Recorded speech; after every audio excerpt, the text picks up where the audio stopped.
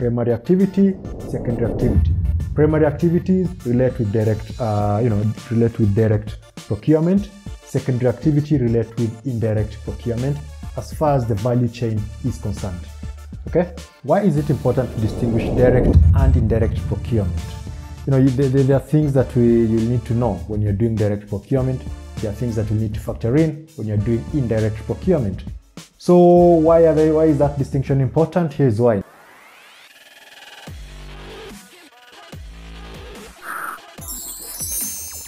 Now, there are a number of reasons why you need to understand whether the kind of procurement you're dealing with is direct or indirect.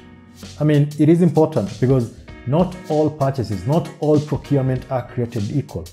You know, there, there are things that we, you'll need to know when you're doing direct procurement. There are things that you need to factor in when you're doing indirect procurement.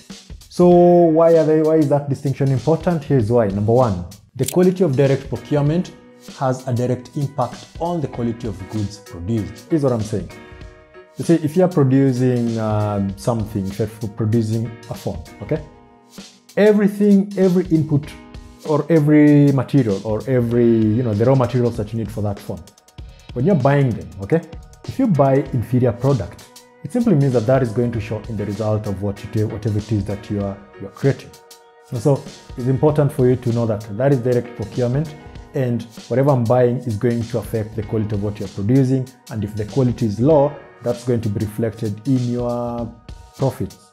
See, that is not the same as indirect procurement because take something like, um, I don't know, like those stickers or the, the, the, the yellow pads or a pen. Sometimes those things don't really, I mean, most of the times, if you, if somebody says, I'd rather write with a blue pen instead of a black pen, that is not, not going to be reflected in whatever product you're producing, okay?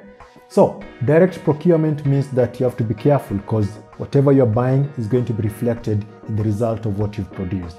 Number two, direct procurement frequently needs to be held in stock so as to maintain service level. And so by doing that, you ensure that there is no disruption to the production process, which is not necessarily the case with indirect procurement. Indirect procurement are usually made as and when required. In so doing, you minimize the amount of stock held with its associated cost. Number three, direct procurement calls for collaborative relationship approach with suppliers since they are likely to be long-term kind of procurement. So, I mean, if you're producing whatever it is that you're producing, it means you're going to produce it for a very long time. And that means that uh, you need to be in a, a good relationship with your suppliers to ensure that there is a steady supply of the raw materials. That is not the same with indirect procurement. Indirect procurement are mostly transactional in order to take advantage of price competition. Number four, direct procurement is more likely to be carried out by the procurement and supply chain function, while indirect procurement are more likely to be done by end user. Look, since direct procurement is going to affect the thing that you're producing, it's most likely to be done by the professional person in charge of procurement. But uh, indirect procurement could just be anybody. I mean, you could send just about, again, uh, it kind of just depends on the service that, that you're offering, okay? So if you are selling bottled water, then anything to do with the bottled water becomes part of the direct procurement. But then things to do with office lunch and all that stuff, those are just indirect procurement, and anybody can do that. Well, anybody who's, you get the point.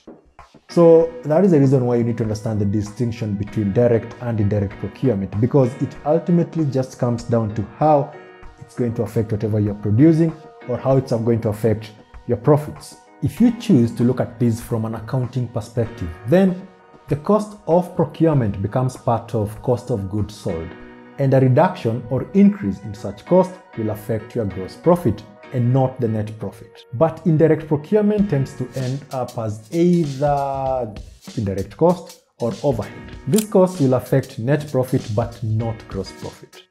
So let's move on to categories of indirect procurement. So we have production material, we have commodity procurement, and we have goods for resale. So production material